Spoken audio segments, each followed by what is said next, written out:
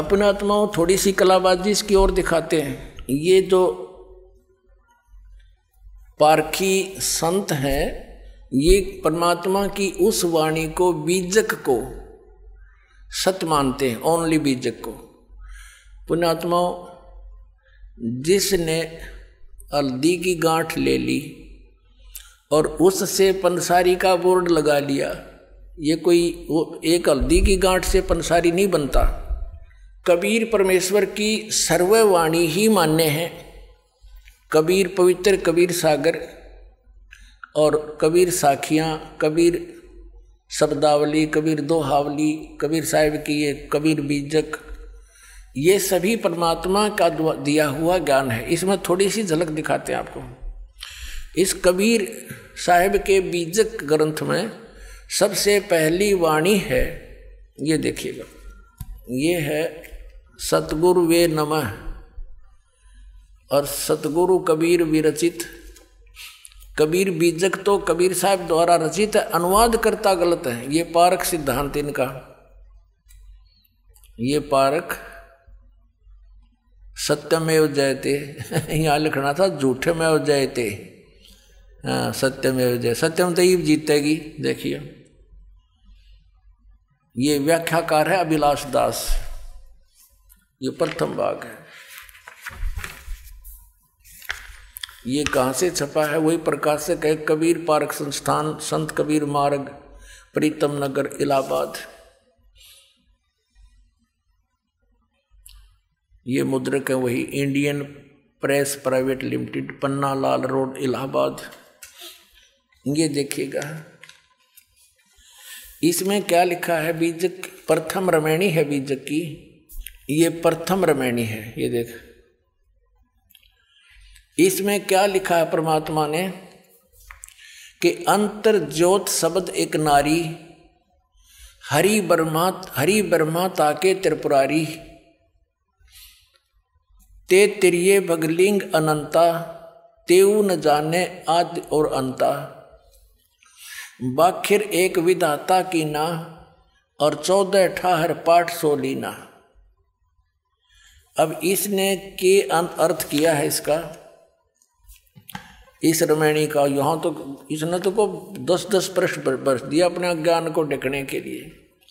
ये क्या कहता है? सभी देवधारियों के भीतर एक ज्ञान ज्योति है, जिसे जीव चेतन या आत्मा कहते हैं। इसने तो जीव को परमात्मा सिद्ध करने की कुचेष्टा की है।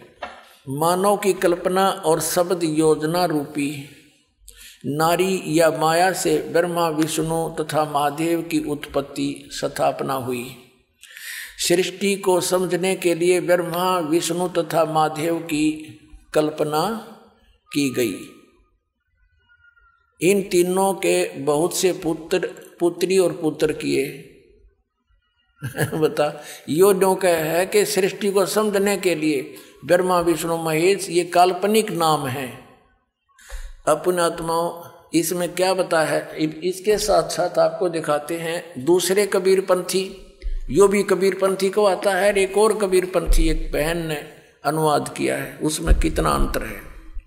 ये है विवेक प्रकाशनी सतगुरु कबीर साहिब कृत बीजक।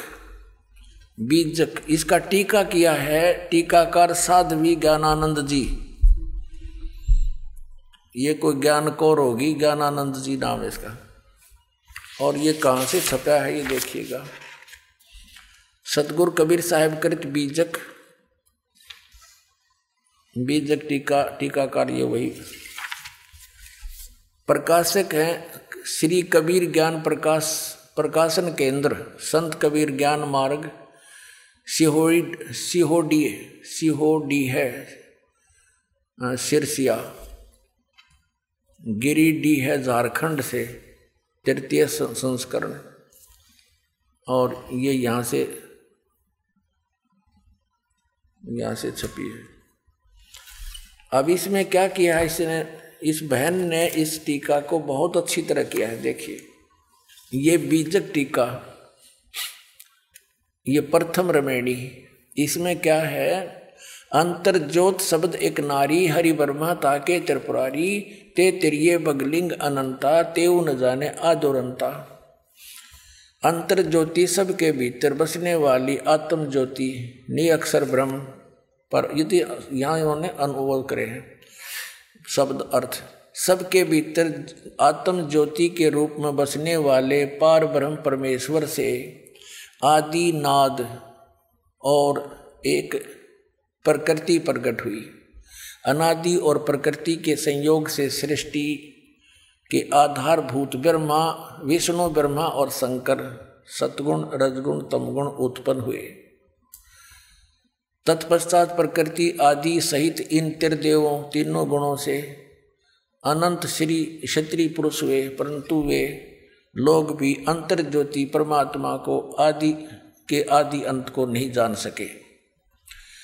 अब बाखरी बाणी ये इस वाखरी एक विवाद, विधाता की ना, चौदह ठार पाठ सोली ना।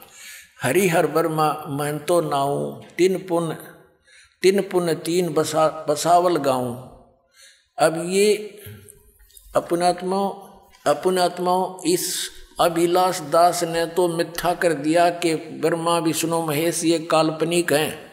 कबीर साहब की वाणी स्पष्ट करती है कि परमात्मा ने अंतर ज्योति यानी ये प्रकृति जो है नारी, परमात्मा इस ज्योत स्वरूपी काल के शरीर में प्रवेश कर गई थी। वो परमात्मा ने इसको बाहर निकाला। उसके बाद फिर इन दोनों के संयोग से ज्योत स्वरूपी काल के और प्रकृति के संयोग से, ये तीनों ब्रह्मा विष्णु में इसकी उत्पत्ति हुई। तो पुण्यात्माओं ये और देखिएगा, आगे दिखाते हैं आपको। इसने कैसी अटकलबाजी की है देखना। ये तो अभिलाष दास की है टीका जो आपको दिखाने जा रहा हूँ। ये तिरपन पृष्ठ पर, ये प्रथम प्रथम प्रकरण है ये, यहाँ देखना। इसमें एक शब्द है नीचे, यरमैणी प्रथम है, प्रथम आरंभ कौन को भऊ, दूसर प्रगट किन सोठऊ प्रगटे ब्रह्मा विष्णु शिव शक्ति, प्रथम भक्ति कीन जीव उक्ति। प्रगटे पवन पानी और ये सारा कुछ लिखा है। फिर क्या बताया है कि जीव शिव सब प्रगटे, वह ठाकुर सब दास और कबीर और जाने नहीं, एक राम नाम की आस है। बता, ये कबीर साहब का वाणी बीजक में इस अभिलाष दास जी ने स्वयं प्रमाणित ले रखी है कि ये वाणी सच्ची है, जो कबीर साहब ने की वाणी लिखी है। ये कबीर साहब की वाणी है, और इसने इसका अनुवाद कैसे किया हडंगा? देखो, ये चम्मन पृष्ठ पर बीजक। इसने यह अनुवाद किया कि जीव से ही शिव यानी ईश्वर, देव आदि की कल्पना प्रकट हुई। ये कल काल्पनिक मानता है। पीछे से कल्पित पदार्थ ही स्वामी बन बैठे और कल्पना करता जीव उनके दास बन गया।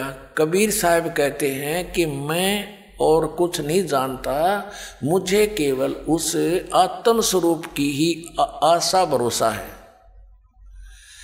जिसका राम नाम है। ये जीव को राम सिद्ध करने की कह रहा है, जिसका राम नाम है और अर्थात मेरा निरंतर विश्राम आत्म स्वरूप में है।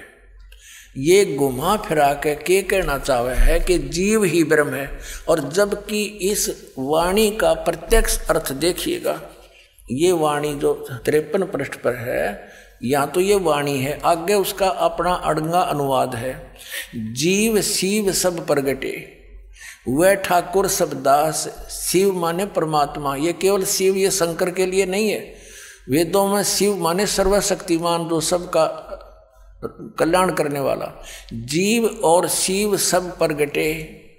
वह ठाकुर सब दास, यानी जीव तो उसके दास हैं, परमात्मा उनका मालिक है। कबीर और जाने नहीं। कबीर साहब कहते, मैं और, यानी तुम और मत जानो, एक राम नाम की आसे कितना स्पष्ट है। अरे इस नडंगा के करा देख। इस दुनिया के नाश करने वाले ने, अज्ञान का, भक्ति का नाश करने वाले ने। जीव से शिव, यो ईश्वर, देव आदि की कल्पना प्रकट हुई, कल्पना। और पीछे से कल्पित पदार्थ भी स्वामी बन बैठे, और कल्पना करता जीव उनके दास बन गए। कबीर साहब कहते हैं कि मैं कुछ नहीं, और कुछ नहीं जानता, केवल मुझे केवल उस आत्म स्वरूप की ही आस भरोसा है। बता। आत्म स्वरूप की खाक भरोसा है। गद का गद है के भरोसा, बता। है तेरा गद भैया अब देखो, इसका दूसरी इस बहन जी ने कैसे टीका किया है? ये भी कबीर पंथी है देखना। ये ये आपको दिखा दिया था भी बार बार इनके प्रकाशक दिखा नहीं पाऊँगा। ये बाकी, अब इसकी तीसरी रमैणी में। ये है, ये इस लड़की, इस बहन के द्वारा अनुवाद है, ये तीसरी, ये चौथी रामायणी नीचे है, ऊपर तीसरी का लास्ट में है, जीव शिव सब प्रगटे, वह ठाकुर सब दास, और कबीर और जाने नहीं, एक राम नाम की आस अब इस बहन ने कितना अच्छा अनुवाद किया है, इस तरह जीव और ईश्वर प्रगट हुए, ईश्वर स्वामी हुए और सभी जीव दास हुए। सतगुरु कबीर साहब कहते हैं कि मैं अन्य किसी को आराध्य नहीं मानता प्रत्युत सर्व, सर्वाधार, सर्व, सर्वाधिष्ठान सबको प्रकट करने वाले राम के भजन की ही आशा करता हूँ। ये बिल्कुल सही अनुवाद है। अरिश नास्तिक न, इस ना भक्ति नाशक न, इसने इसका के अनुवाद कर रखा है कि भाई फिर पढ़ो। या अंग्रेज़ी जल्दी सी समझ में ना आओ आपका। अब ये फिर अभिलाष दास वाली पढ़ो आप। ये इसका प्रकाशक है। ये, और इसके देखना। या तीसरी रमेणी या प्रश्न नंबर तिरपन पर हमने पहले भी पढ़ी थी, एक बार फिर देख लो। या तीसरी रमेणी के लास्ट में है। जीव शिव सब प्रगटे वह ठाकुर सबदास इसमें बिल्कुल साफ़ है। बिल्कुल स्पष्ट है कि जीव, यानी परमात्मा, ना जीव तो जीव और शिव परमात्मा, जीव, शिव सब प्रगटे वह ठाकुर सब दास, वो एक सबका मालिक है, बाकी जीव उसके अधीन है, उसके दास है। फिर देखो, और कबीर साहब कहते हैं, कबीर और जाने नहीं, एक राम नाम की आस और इसने के डंगा कराया से, इस नास्तिक ने? ये देखो, यहाँ लिखा है, चमन पे जीव से शिव ईश्वर, जीव से ईश्वर देवादि की कल्पना प्रकट हुई है। ये उल्टा ठोक रहा है, खुट्टे। क्योंकि जीव तो भगवान प्रकट होया। देख इसका अनुवाद, जीव से शिव देव आदि की कल्पना प्रकट हुई। यानी जीव तो ईश्वर होया पर उत्पन्न। और पीछे से कल्पना, काल्पनिक पदार्थ, स्वामी बन बैठे। काल्पनिक कर्ता जीव उनके दास बन बैठे।